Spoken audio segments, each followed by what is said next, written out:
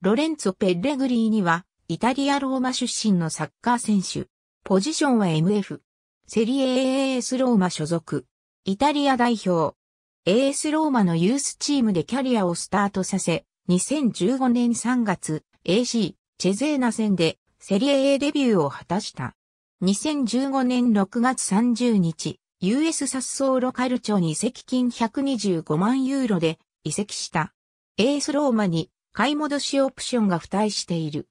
2015年11月8日、カルピ FC 戦で移籍後初出場を果たし、12月6日の UC サンプドリア戦で初ゴールを挙げた。2015から16シーズンは公式戦20試合に出場し3ゴールを挙げた。2017年4月10日、リーグ戦で6ゴール4アシストを記録し、単一シーズンでゴールとアシスト合わせて10得点以上に関与した最年少の選手となった。2016から17シーズンは公式戦34試合に出場し、8ゴール8アシストを記録した。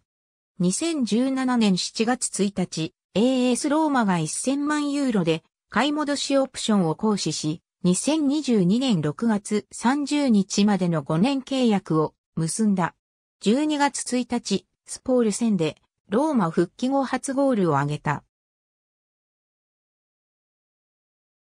2019年9月29日、US レッチェ戦に出場したが、後半25分に負傷交代し、9月30日に右足第5、中足骨の骨折であることが発表された。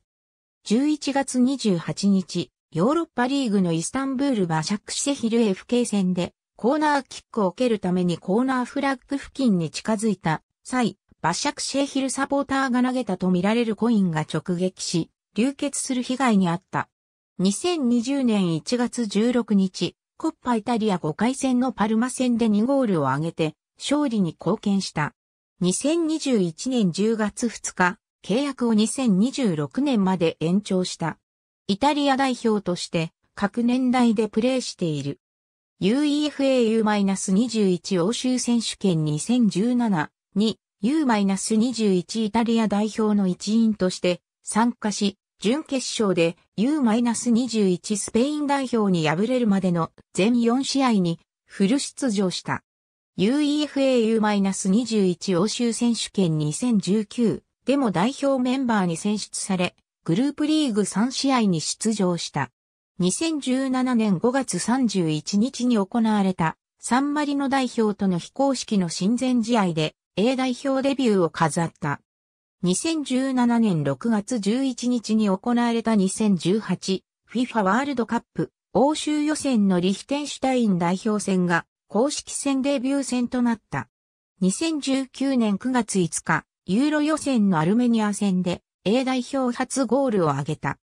2021年6月、ユーロ2020を戦う代表メンバーに選出されていたが、負傷でメンバーを外れることとなった。ありがとうございます。